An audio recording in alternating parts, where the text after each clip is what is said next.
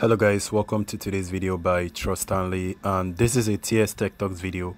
On today's video guys, I'm going to show you how to set up um, admin approval on posts before the post is published to your Facebook group. Now, what this means is actually whenever somebody tries to make a post on your Facebook group, it has to be approved by you being the admin or any other moderator in the Facebook group.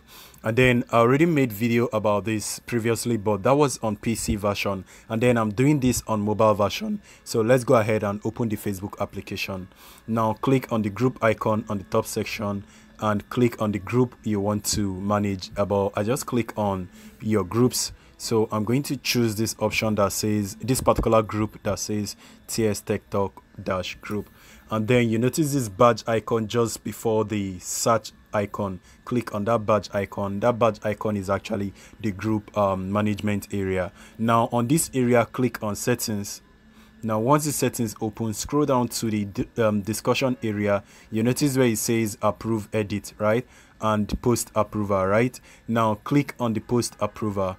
Right now, it actually set on off. Now, if you click on turn on, the post will have to be approved by an admin before they are being published to the group. Although it didn't describe that on this particular one, but that is exactly what it means. The post will have to be approved by an admin before it's being published in the group. So if you guys are okay with this setting, it actually auto saves. So just go ahead and back out and back out. And that setting has been set up for your group. Right from now, anybody that tries to make a post on your group, it will have to be approved by your admin or the management.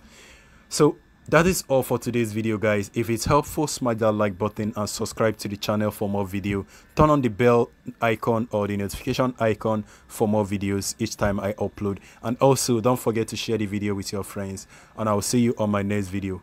Peace